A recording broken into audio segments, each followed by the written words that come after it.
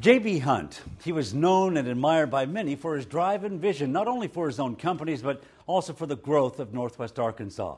Unfortunately, he died five years ago after an accidental fall. However, one of his dreams before death is now coming true, and it's the family he left behind that's making it happen. J.B. Hunt contributed so much to the new vision of Northwest Arkansas, especially in the Pinnacle development here in Rogers. His wife of 55 years, Johnelle Hunt, says before his death he had also talked about building a cemetery. It was very much needed. This is the first cemetery built in the area in 30 years. And the Hunt family specifically designed this beautiful place for everyone to use. From every income level to every religious affiliation, all will be catered to.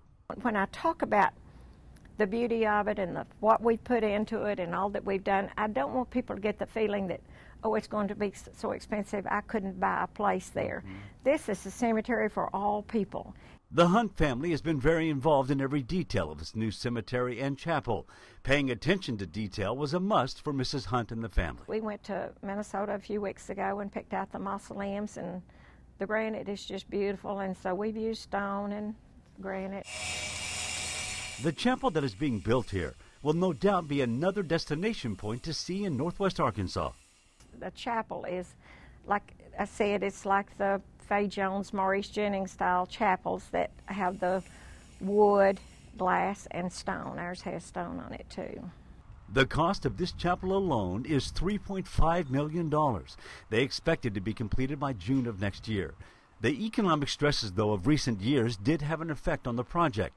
After J.B.'s accidental death, Mrs. Hunt knew she had to build a cemetery, but costs were definitely a factor. We uh, started the cemetery and then put the chapel on hold for a while. It that's when the economy kind of yeah. dropped, and I just didn't feel like it was the time to start the chapel. I just my heart was not in it that it was the right time to begin building a chapel. But we knew we needed to move forward with the cemetery. Mrs. Hunt said elaborate plans for the chapel were redrawn and certain extras were shaved.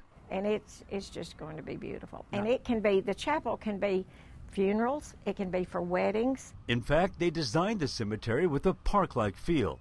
Lots of gardens, walkways, trees, and intentionally set the chapel in the corner, wooded area of the park for this reason you know, maybe some people might think, well, uh, getting married in a chapel in a cemetery, this doesn't will not feel like that. You'll feel like the chapel is here, and we really call the cemetery a park.